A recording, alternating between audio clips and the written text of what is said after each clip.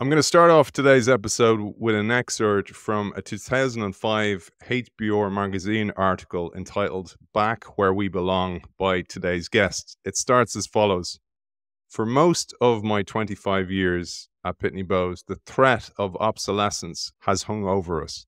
We are, after all, in a business that is deeply associated with what commentators are inappropriately referred to as snail mail. Our genesis was the postage meter, and still 85 years after Arthur Pitney and Walter Bowes brought it to market, more effective processing of physical mail is at the core of our business. To use the most ominous metaphor, we are the boogie whip to the Postal Service's boogie. The question constantly arises in a world increasingly transformed by email and other electronic communications, is our business destined to go the way of Pony Express? Perhaps it's no surprise then that as chairman and CEO, I spend a large proportion of my time, about 25%, on strategy. Speculation about our future enters into every discussion with every investor, it factors into customers' decisions on investing in capital equipment, and potential employees pose questions about it when they're considering joining us. I have to arrive at answers that I can put forward convincingly and with conviction, even if they clash with many people's assumptions. The point of this article and today's episode is not to sell you on the Pitney Bowes strategy at the time, though our guest hopes it will help us see its wisdom. Rather, as it is today for this episode, it's to put you in the shoes of someone who has a big bet strategy to sell every single day. It's a pleasure to welcome that person, the author of that article back in 2005, and for part two, after a stellar part one, former CEO and chairman of Pitney Bowes, Michael J. Critelli. Welcome to the show. Thank you very much, Aidan. I really am honored to be back on the program. Mike, it's great learning from you. I absolutely loved part one. I edited it especially before today's episode, so I had the full context of that episode. And then you brought me down many more rabbit holes with so much more of your content on your website that I'll link to. But also this article, I thought it was so brilliant to step back into your shoes two decades ago when you wrote it. And I thought we'd help set the scene I was going to read out a small excerpt here for you to fill in the gaps and bring us back, paint the picture for us. You start off here telling us that as early as the 1960s, the company began thinking that its future strength lay in broad diversification. By the end of the century, you had taken at least six different tracks, moving into ventures as disparate as non core capital equipment leasing, mortgage servicing, and retail supply chain systems.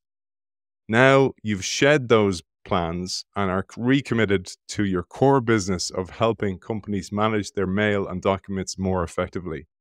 You think there's plenty of opportunity to grow that core, particularly in global markets, and to move into adjacent, lucrative market spaces. You also believed at the time that working collaboratively with other stakeholders in your industry, including postal services, you then could create more profitable growth opportunities. So that's a little bit of scene setting, but I'd love you to paint the picture more adequately and bring us back to where you were. Well, thank you. I think the most important insight that I got came very early in my Pitney Bowes tenure, and it was the random statements in marketing collateral in which we said, at that time to send a first class letter it costs $1.50 now that was the postage was at that point probably 25 cents. So the rest of it were other tasks associated with sending out a letter. And all the different design and print and finish features because the, the whole point of that marketing collateral was that letter counted for something. People would receive it, they'd open it, they'd do something relative to it. So what really intrigued me was how was the other dollar 25 being spent? We had a very small share of that with the mailing desktop mailing equipment. What other profitable opportunities were there and in that $1.25, which by the time I got to the point at which I wrote the article was probably $1.75.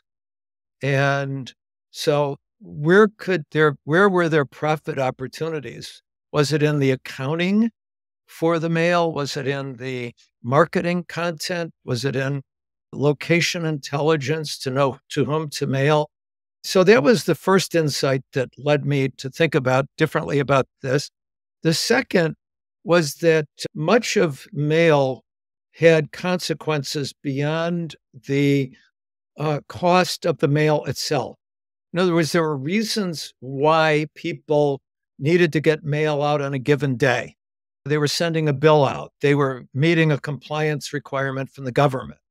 So the impact of the, let's say the letter cost $202.25, but that letter may have had an impact in the several hundred dollars or several thousand dollars. So the question was, what were people doing with what was inside the envelope or inside the package?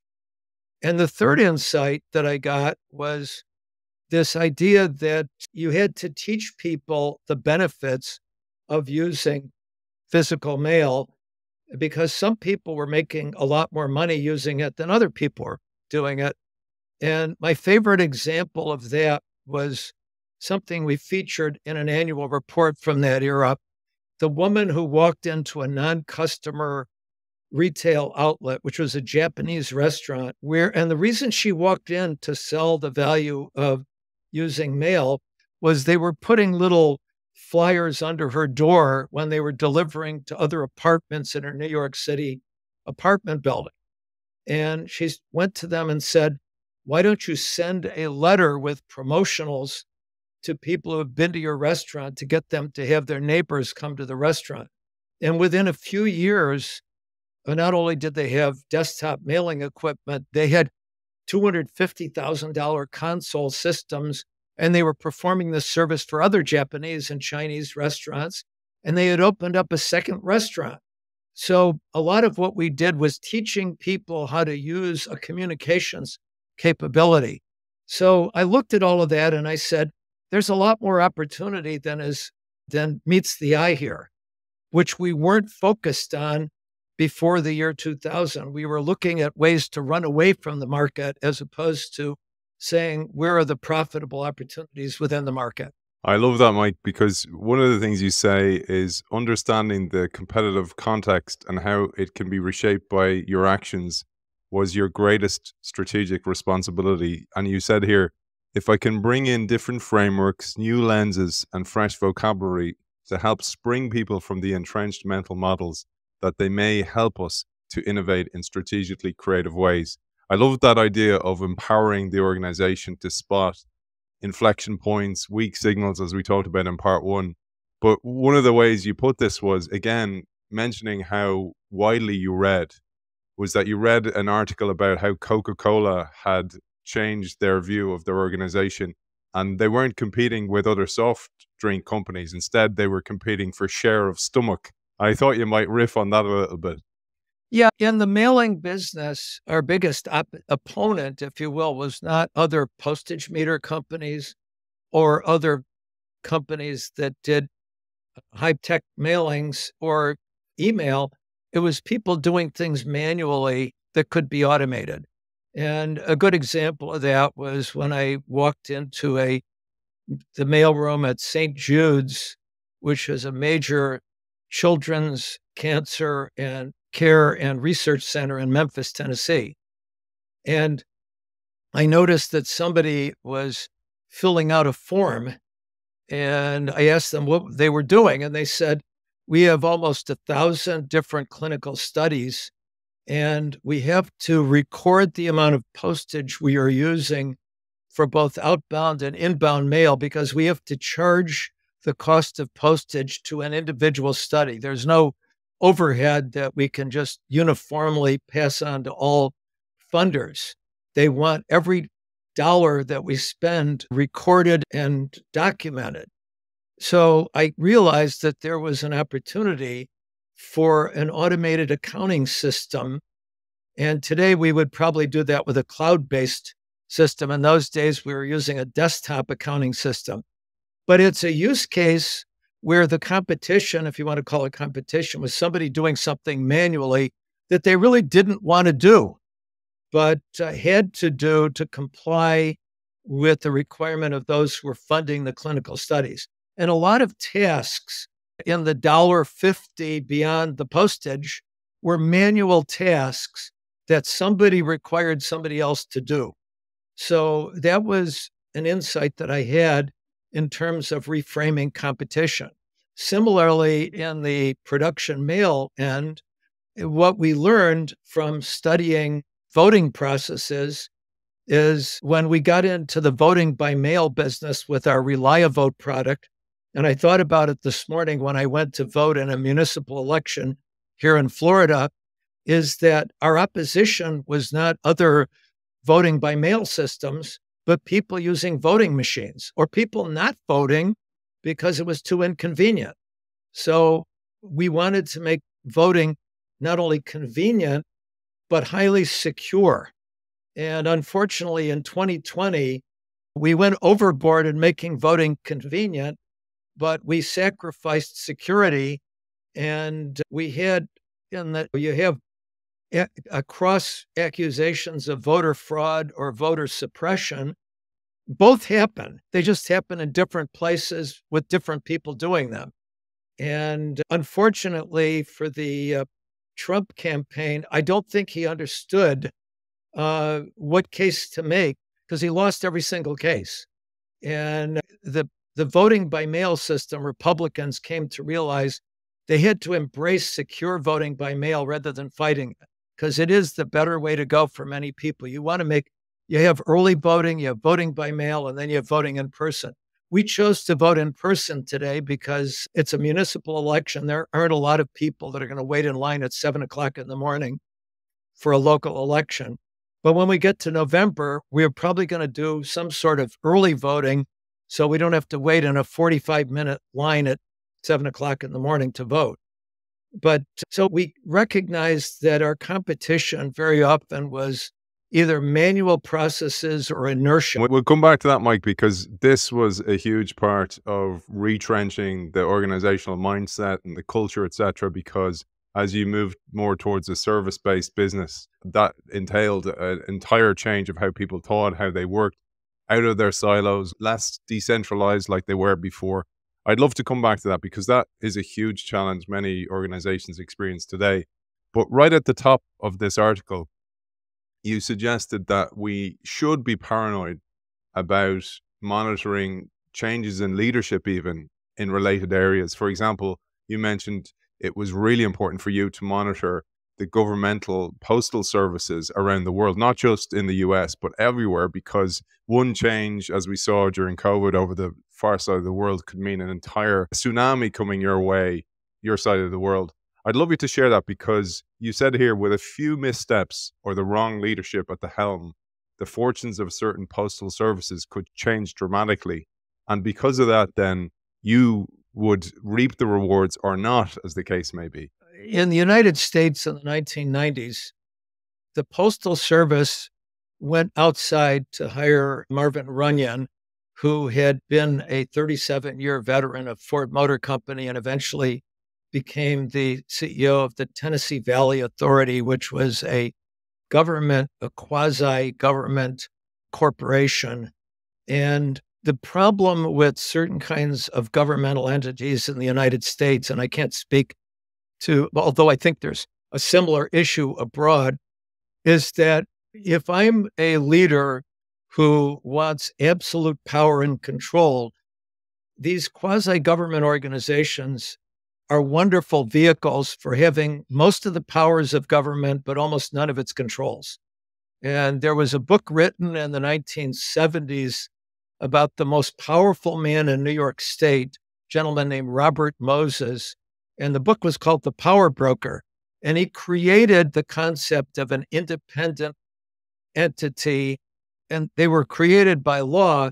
And basically, these were things like the Metropolitan Transportation Authority, the Niagara Mohawk Power Authority, the Port Authority of New York and New Jersey. And these had the power to condemn property, to tax people, but voters couldn't vote their leadership out of office.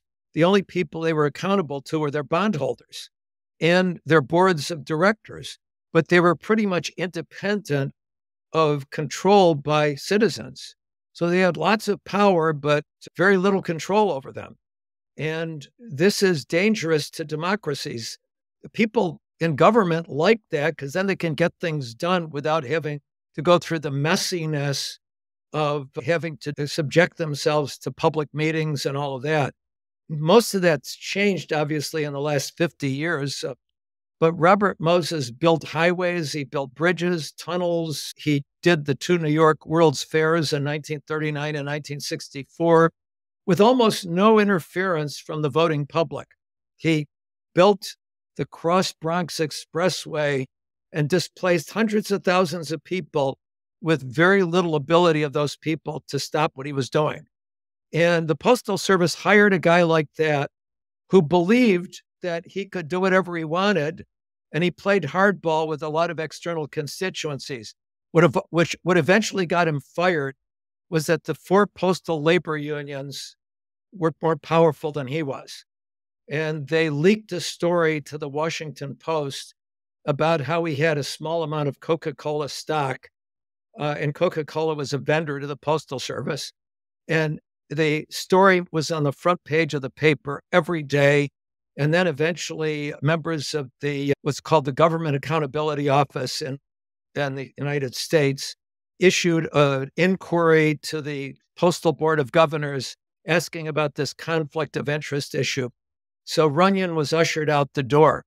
But we had a problem in those years because they were basically daring us to sue them because they thought they had absolute power and they were trampling on our rights.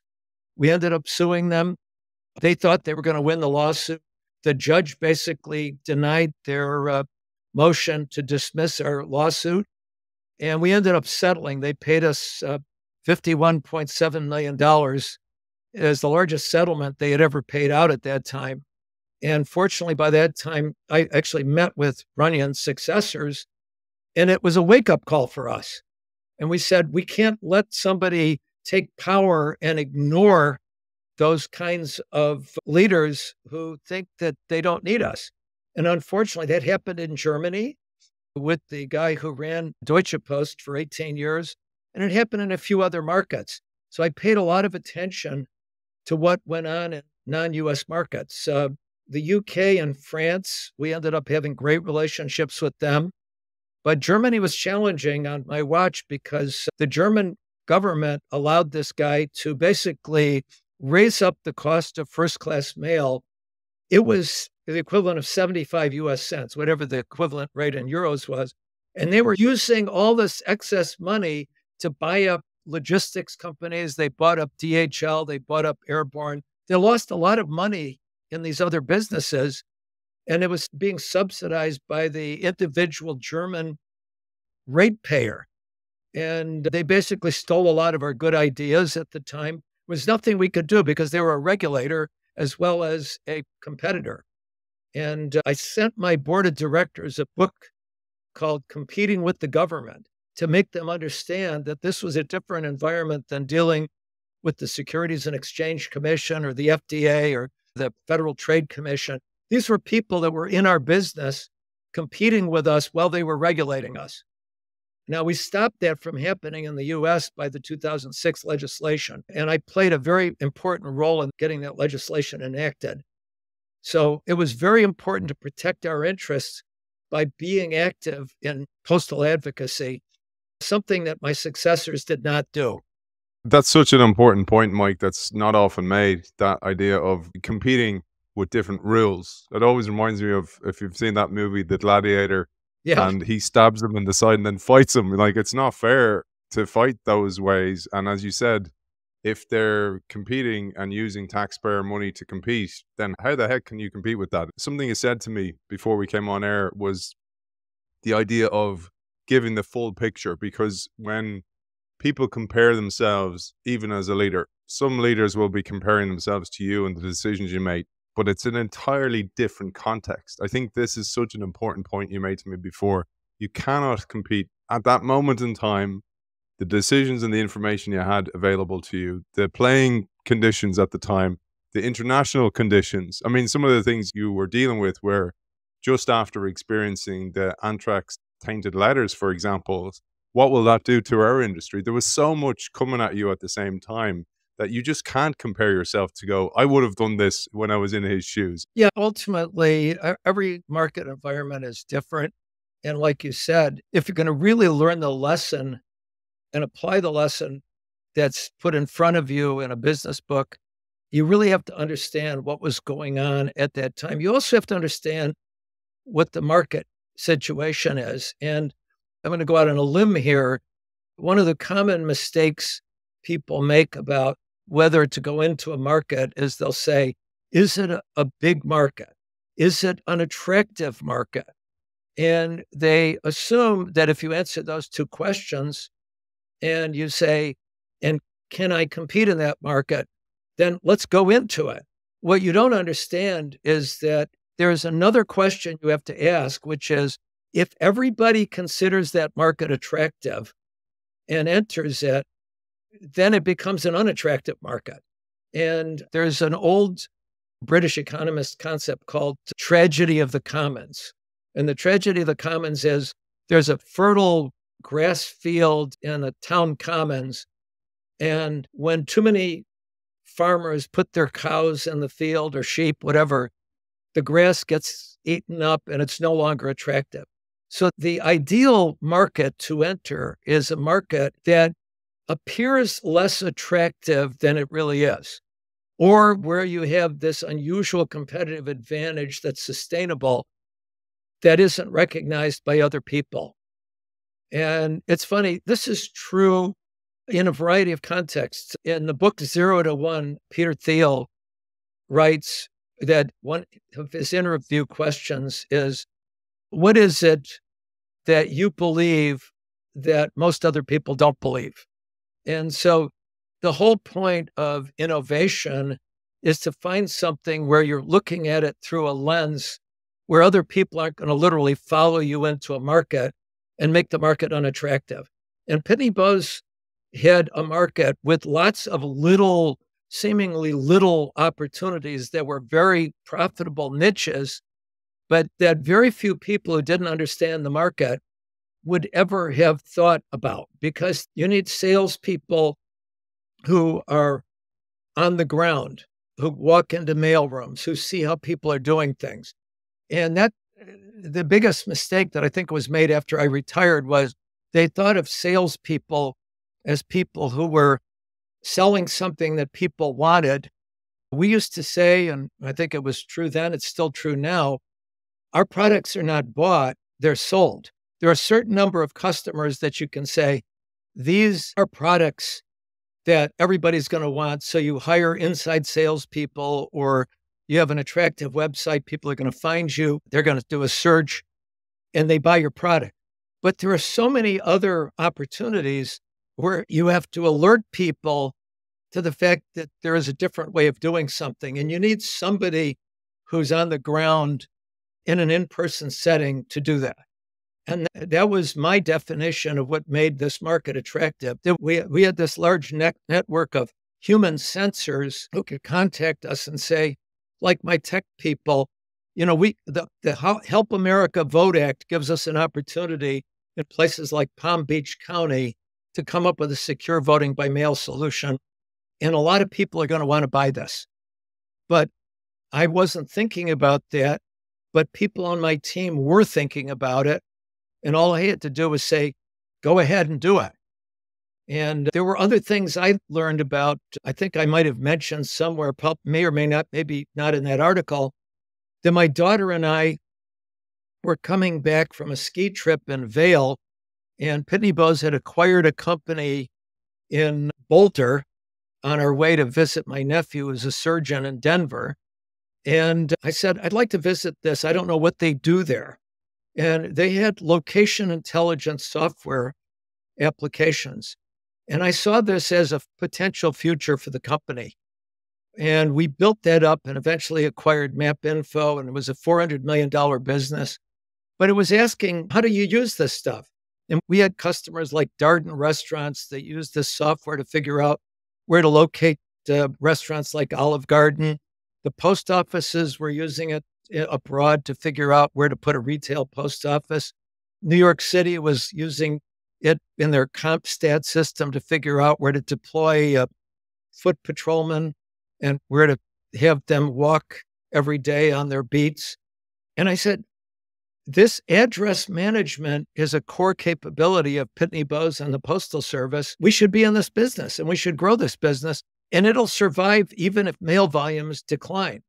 But it was a random visit to a $10 million operation in 2005 that caused me to see that. So you got to have you know, whatever expression you use boots on the ground, feet on the street. And that's how you find these opportunities. And the company we acquired, Group One, had not seen the potential of this business that I saw.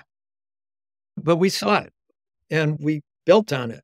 And unfortunately, after I retired, Pitney Bowes did not continue to invest in it. That's something I'd love to come back to because one of the ways you say you can survive, because disruption comes for everybody, we know that. The innovator's dilemma, you mentioned that in, in part one of this series also comes from you where you'll be undermined by somebody who will do it cheaper or the internet will change your business model entirely.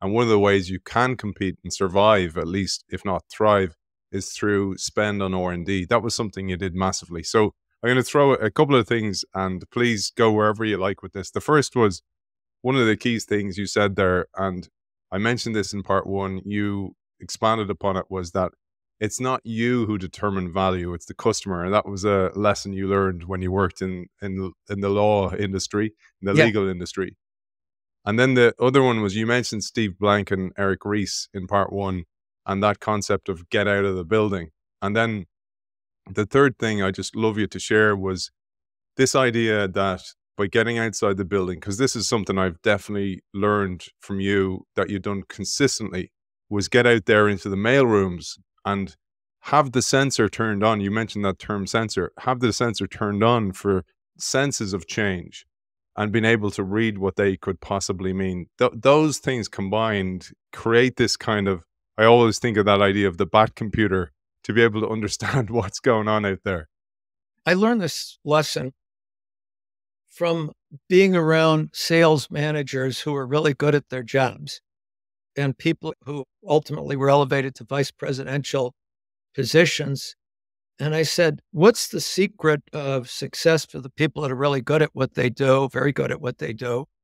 And he said, They steal with their eyes, meaning they spot an opportunity. The other thing they do, and this is why we hired and I consented to hiring anthropologists, is it's the it's what people don't tell you about what they're doing and don't think to tell you, but what you observe that ultimately are the biggest opportunities. You know, the old Henry Ford expression comes into play when he says, if I asked 100 consumers what they wanted in 1905, they'd say more reliable, faster horses, as opposed to a motorized vehicle that could replace the horses. So you have to bring a certain kind of intelligence to spotting those inefficiencies and tasks. And you can only do that by either being there or by talking to people who are in the trenches or on the street or whatever term you want to use. And that's what I did. I, I would just be out there to pick up on those kinds of senses and opportunities that other people weren't picking up on. Mike, one of the things you, you mentioned in this article as well, and this is useful for leaders who go, oh, well, that's well for Critelli. He had time to do that, but you made time to do that. But you also engaged other people. So you hired a chief strategy officer. You also had Institute for the Future on the books in order to see what was coming down the line. And then you also leaned into the idea of scenario planning. And I thought this was really interesting because these are helpful things for organizations in times of unbelievable change that you have to have more eyes on the ground. Yes, activate people like Mike said, your salespeople, your people out on the ground, the mailrooms, etc. But also having people who are dedicated to that is an important step. Absolutely. And you need to hire a certain kind of person. You know, it's funny, there are telltale signs that seem very unrelated to what you just said. But what I found when we brought people in to give them international assignments, if they're at a vice presidential level and they expect people to do things for them when they go abroad, they're going to fail. And where they live abroad matters. In other words, if they're going to London or Dublin or wherever and they're living amongst expatriates, they're going to probably fail. You have to meld in with the local population. Ideally, put your children into the schools that the local people go to. And it's also people's sense of adventure. There were two people I remember, one who I sent to the UK, and he didn't wait for the details to be ironed out. He said, I'm, I'm excited about this. I'm going to be on the next flight. My wife and my 13 year old son are excited about this. And they're really looking forward to the adventure of being in a completely foreign location for them. And then you have somebody who hangs back and negotiates every detail about relocation. And we were sending him to Australia. And he failed miserably in Australia because he never got out and he tried to apply what he learned in the United States. He thought that what we were sending him to do was to replicate what he had done in the United States. And oddly enough, the most successful international hire I ever did was an American who was not in management in the United States, but had been in sales because he was hands on. He learned to be a manager on the fly, but he used a lot of hands on tactics to adapt to the foreign environment. And he succeeded. The people who were at a higher level that we were training to see if they could move from vice president to president, they had lost the ability to understand how to get the job done if they had to do it themselves. One of the things that I tuned into, it was a very much uh, one liner within your writing. And I wrote an article on it because I, I, tried to write an article that expresses some of the feelings or the themes from each of the episodes. And this sparked me to write this this article. And it, it's essentially the tyranny of the term we tried that already. and you say you got to consistently revisit assumptions and I'd love you to share your thoughts on that because it's something you said here that you have to look at what's changed in the world and come back to it on a regular basis. Or as you actually say, you say it's a question that has to be revisited continually. And that is a huge amount of investment for a leadership team because they like to just put a line through it and feel like they can move on and onto the next of their to-do list, which is never ending for leaders. My favorite example of that, and it was not getting into a new business, but getting into a new country. We tried multiple times to acquire a company in France. It was the only company we theoretically could acquire because it was the only one not competing in the United States. Anybody we wanted to buy who had a US operation, the US Justice Department would not have allowed it.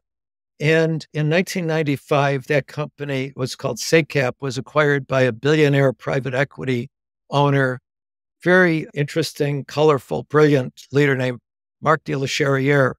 I met him in 1995. He bought he had bought Secap, and he wasn't interested in selling.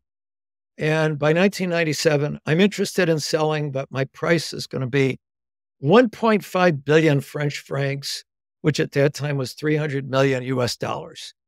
And uh, we valued the company at 1 billion French francs, which was 200 million US dollars. And I would meet with him every year. Uh, he would come to New York or I'd go to Paris and we'd have a very pleasant dinner. And we were always $100 million apart. And then I noticed a couple things. One was he was he was very interested as the EU was coming into uh, being as in a bigger way with the common currency, with the euro, he was very interested in redeploying capital to buy companies inside the EU and to pay in euros. The light bulb went on for me, and I said, gee, I wonder if there's a way to do this. And I discovered that at that point in time, the French franc was now eight French francs to the dollar. So 1.5 billion French francs was less than $200 million. So we made contact with him again. And we eventually struck a deal at 235 million US dollars because he had improved his company. And it turned out to be one of the best deals we ever did. But I was I was obsessed with finding a way to do this. And I never let go of the opportunity. I didn't check the box and say, I met with him in 97. It's over. We can't do it. He's he's rigid. Things changed for him. The currency changed from the French franc to the euro. The euro at that point entered into the market at 0.82 to the dollar. So there were a lot of reasons why circumstances changed. Similarly, we got out of the cigarette tax stamping business in the early 80s. It was a right decision in the US. And 2003, we discovered that that business made sense in Asia where there was a lot of counterfeiting. And we're putting stamps with the new metering technology, digital metering made sense. So we we re-entered the cigarette tax stamping market as well as the broader authentication market in Asia because as my head of Asia Pacific said, these are low trust societies where there's a lot of counterfeit goods in the market. I always assumed that businesses or opportunities succeed or fail at a point in time. And you have to constantly say, what's changed, either for good or bad?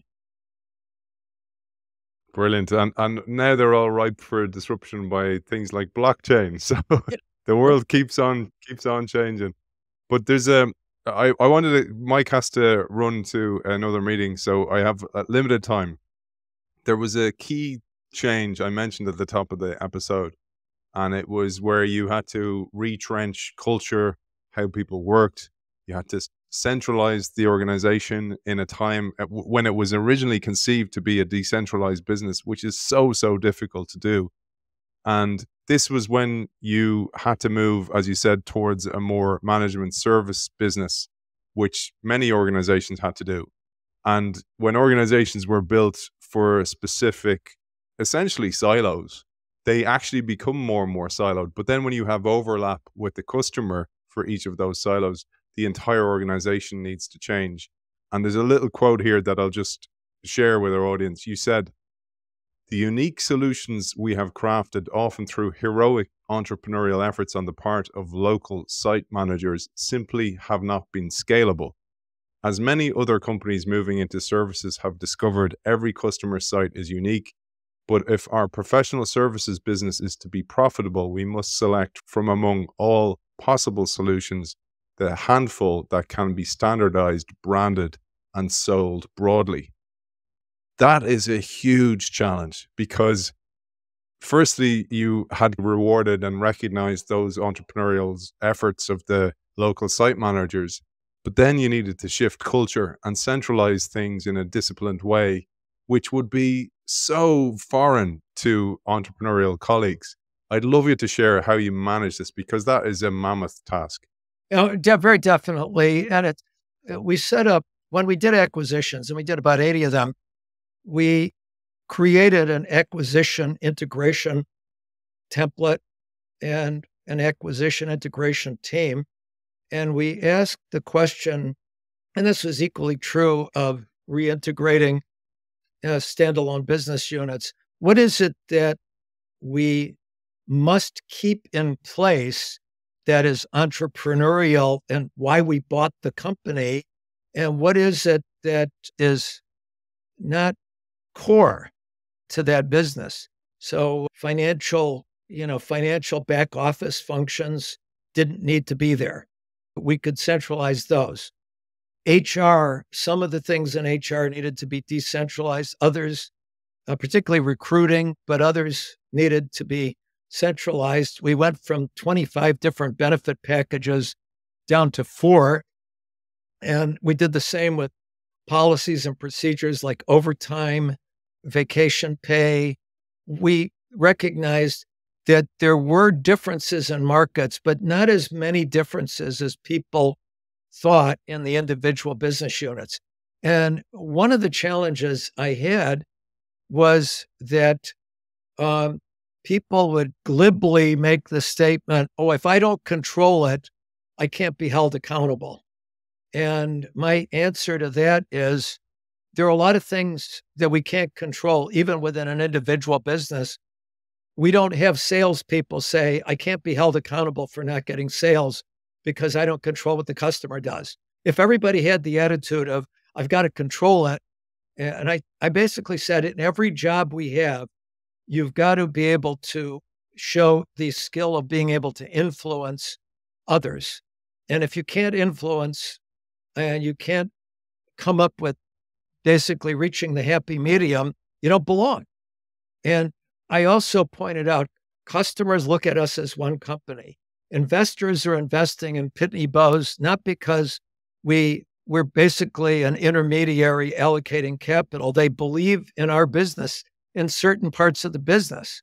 And one of the things they didn't believe in was our capital services, our, our non core finance business. They said, if I wanted to invest in a non core capital services business, I wouldn't invest in Pitney Bowes. I'd go to, you know, one of the financial services firms.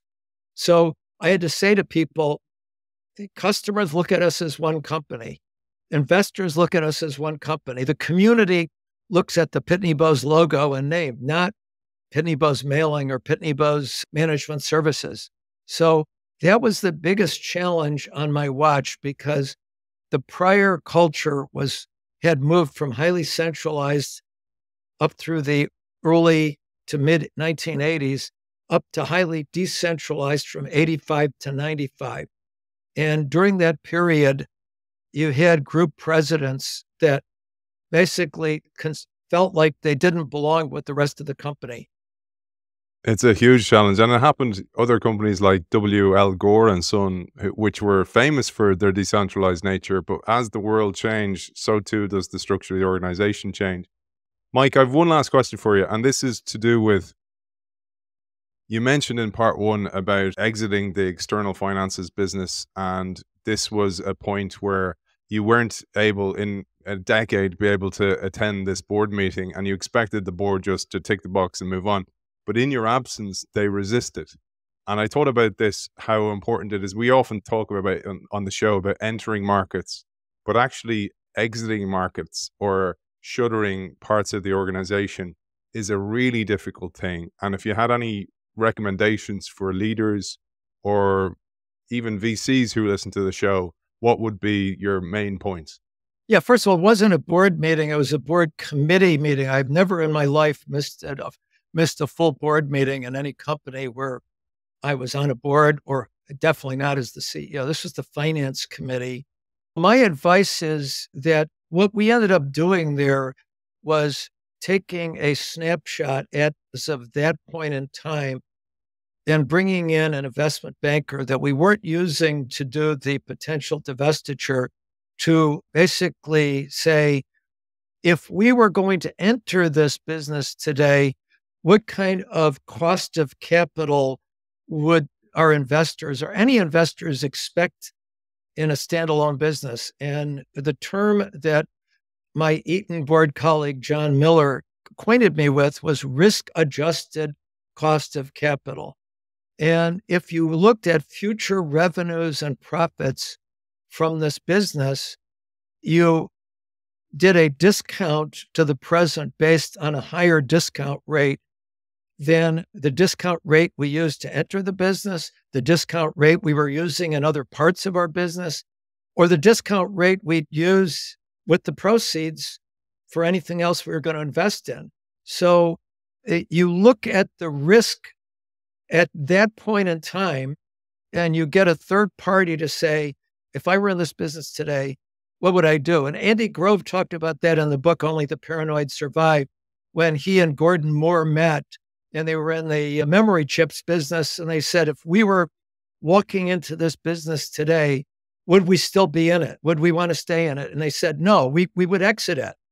So you got to step back and take a fresh look based upon a rigorous cost of capital analysis and probably get third party in, investor or analyst assistance in doing that.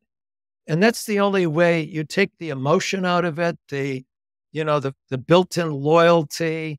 You've got to be very cold-blooded about that because I love the people in capital services. They were my favorite, probably my favorite people in the company. They were very entrepreneurial. They they moved quickly. They were innovative. They did amazing things, but the business ultimately didn't belong inside Pitney Bowes. And we sold it to Cerberus Capital. Absolutely gold this episode. It was an absolute pleasure talking to you, learning from you. I'm so glad I read about you in Ian Morrison's book, The Second Curve. So glad you had taken on Institute for the Future as well, because all these decisions have led to this moment for me, and it's been an immense learning experience. Mike, where's the best place for people to find you to learn more about your work, etc.? Either on my own website, mikecritelli.com, or on LinkedIn. Uh, just to give you an idea of something I'm interested in, as the president of my condo association, I literally published an article this morning about the issue with the collapse of those towers that uh, the collapse of a tower in the Miami area in 2021 and what investigators are learning. The other thing to keep in mind is I'm a co owner of a company called MoveFlux.